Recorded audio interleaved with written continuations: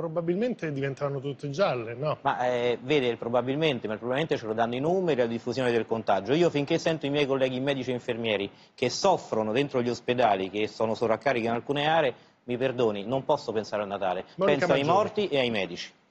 Ecco, proprio per questo, Vice Ministro No, non è Sileri, così. le posso chiedere una cosa? Ma secondo lei può esistere un governo che decide di non parlare del Natale? Le sembra una cosa proprio stellare e eh, mi perdoni il gioco di parole?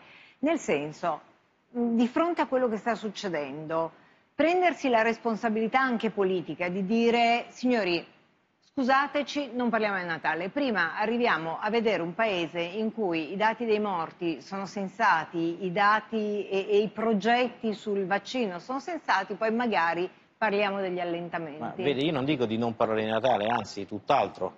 Dico aspettiamo i no, no, io monitoraggi. invece sono io che le dico. No, no, io l'ho capito quello che dice. Io credo che dobbiamo continuare a parlarne. osservare i numeri dinanzi a noi. Le cose stanno andando bene in alcune aree, è ancora troppo presto però di fare progetti a lunga distanza. Quindi cosa le devo dire? Cioè, io sono un cristiano cattolico, festeggio ogni anno il Natale, però l'idea di stare eh, diciamo in casa con eh, tante persone in questo momento mi sembra non dico fuori luogo, ma mh, non andrebbe fatto perché ci troveremmo nella stessa condizione che abbiamo vissuto alla ripresa delle attività nel mese di settembre-ottobre, poi ci troveremo Cioè, così